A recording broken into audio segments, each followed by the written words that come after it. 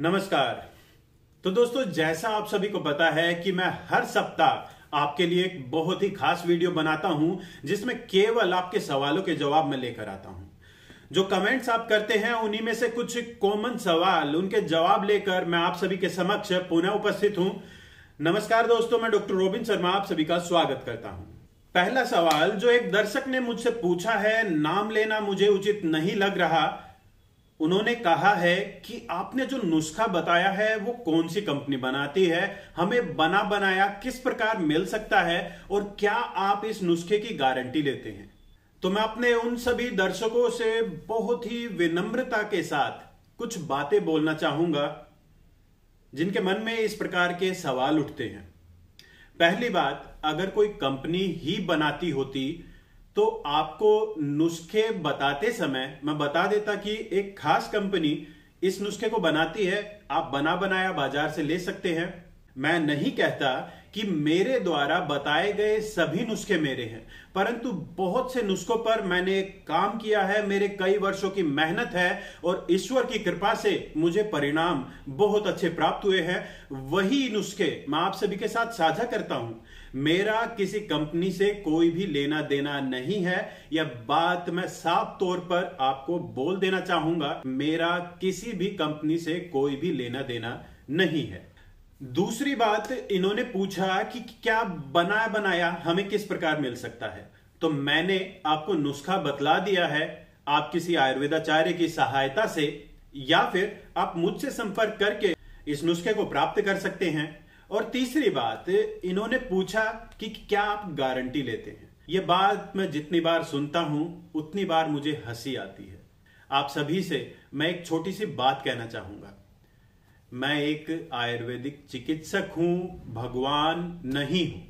ध्यान से सुन लीजिए, मैं एक आयुर्वेदिक चिकित्सक हूँ, भगवान नहीं हूँ, पूरी ईमानदारी और बुद्धिमता से अपने कर्म को करने का प्रयास करता हूँ और इसी कारण मुझे सफलता की प्राप्ति होती है, परंतु फिर मैं आपसे कहूँगा, मैं भगवान नहीं हूँ। मैं केवल कर्म कर सकता हूँ, अपना अच्छे से अच्छा प्रयास कर सकता हूँ, जिसके माध्यम से मुझे आज तक सफलता प्राप्त होती आई।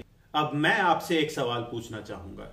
जो लोग मुझसे ये सवाल पूछते हैं कि क्या आप गारंटी लेते हैं, उनसे मेरा ये सवाल है कि क्या आपने कभी किसी एलोपैथिक डॉक्टर के पास जाकर ये शब्द यूज़ किया है? क्या आप गारंटी लेते हैं?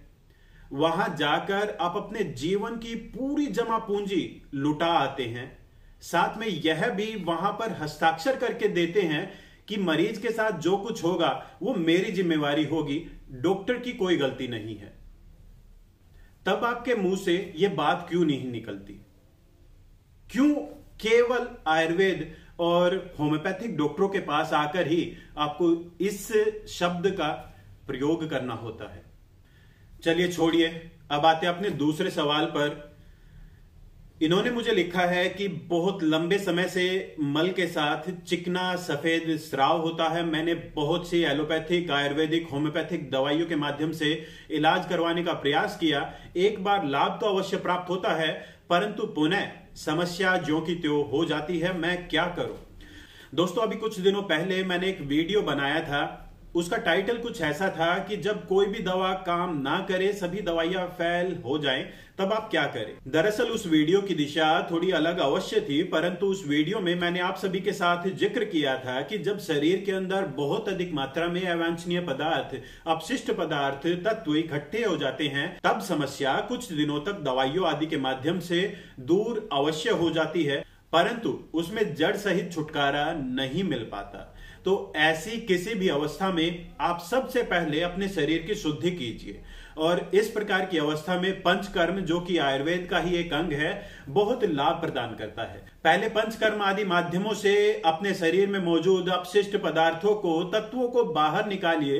तत्पश्चात यदि आप किसी औषध का प्रयोग करेंगे तो जो लाभ आपको प्राप्त होगा, वो आपको अन्य माध्यमों की अपेक्षा बहुत ही उत्तम प्राप्त होगा। तो जो भी दर्शक किसी ऐसी बीमारी से पीड़ित है, जो बहुत लंबे समय तक औषधियों का प्रयोग करने के पश्चात भी आपका पीछा नहीं छोड़ रही है तो ऐसे रोगियों को समय समय पर अपनी आंतरिक शुद्धि पंचकर्म आदि माध्यमों से अवश्य ही करवा लेनी चाहिए। चलिए अब आते अपने तीसरे सवाल पर। यहाँ हमारे एक युवा दर्शक हमसे पूछते हैं कि स्वप्न दोष की समस्या का समाधान हमें बताइए।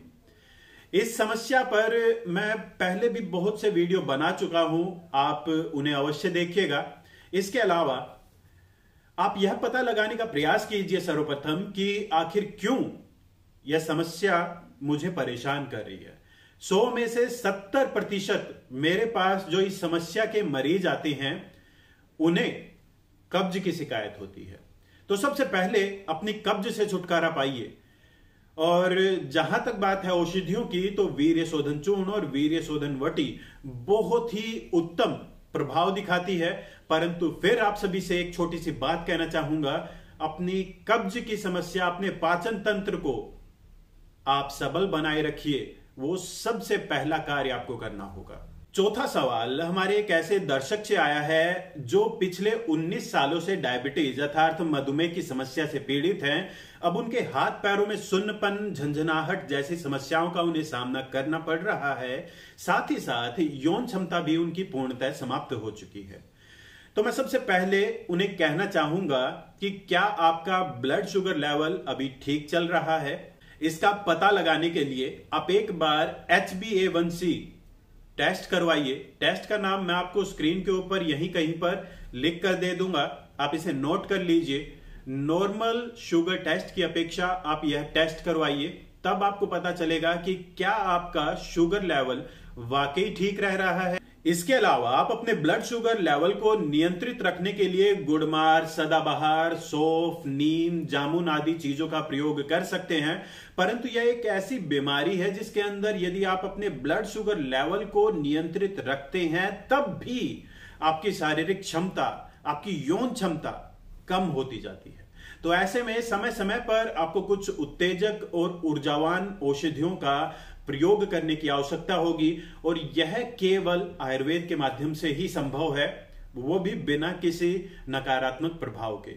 इसके लिए मैं कई बार आपको बता चुका हूँ कि वसंत कुष्माकर रस और शिलाजीत सर्वोत्तम औषधि है। परंतु यदि आप चाहें तो अश्वगंधा कोच भी चूर्ण सिद्ध मकर ध्वज पूर्ण चंद्रोदय रस स्वर्ण भस्म हीरक भस्म आदि औषधियों का प्रयोग कर लाभ की प्राप्ति कर सकते हैं। मधुमेह के चलते आई 80 से 90 प्रतिशत कमज़ोरी इन औषधियों का प्रयोग करने पर दूर अवश्य हो जाती है, परंतु बहुत अधिक यौन दुर्बलता की अवस्था में आपको अन्य बहुत सी औषधियों का प्रयोग करने की आवश्यकता पड़ सकती है और उसके लिए आपको किसी आयुर्वेदिक चिकित्सक के परामर्श की अत्यंत अधिक आवश्यकता होगी। चलिए अब आते अपने पाँचवें सवाल पर। हमारे एक युवा दर्शक ने हमसे पूछा है कि मुहासे की समस्या के चलते मेरे चेहरे पर दाग धब्बे हो गए हैं। इसके लिए मुझे क्या करना चाहिए? दर्शकों, मेरा एक दूसरा चैनल है गुणी आयुर्वेद। अभी उस पे कुछ दिनों पहले ही मैंने कुमकुमादि तेल के बारे में एक वीडियो बनाकर डाला था। उसके बारे में जानकारी आपको देने का प्रयास किया था। उसका लिंक मैं आपको नीचे डिस्क्रिप्शन बॉक्स में दे दूँगा। त्वचा संबंधी, विशेष तौर पर त्वचा सौंदर्य संबंधी समस्याओं को जल्दी और प्रभावशाली तरीके से दूर करने के लिए कुमकुमादि तेल से उत्तम अन्य ही कोई औषध होगी। आपको इसका प्रयोग करने पर छह से सात दिनों में लाभ मिलना प्रारंभ हो जाएगा। इसका प्रयोग किस प्रकार करना है, उसके लिए एक बार वीडियो अवश्य देख लीजिएगा। लिंक आपको नीचे डिस्क्रिप्शन बॉक्स में मिल जाएगा। तो दोस्तों, मुझे पता है कि मैंने आपके केवल कुछ ही प्रश्नों का जवाब दिया है, परंतु एक सीमित समय में सभी प्रश्नों का जवाब दे पाना भी मेरे लिए संभव नहीं है। आशा करता हूँ आप यह मेरी मजबूरी समझ रहे होंगे। यदि आपके मन में कोई प्रश्न है, कोई सवाल है तो नीचे कमेंट्स के माध्यम से हमें बताइए और जाने से पहले इस वीडियो को शेयर कीजिए, हमें सब्सक्राइब कीजिए और अभी के लिए आज्ञा दीजिए। मिलते अगले वीडियो में। नमस्कार।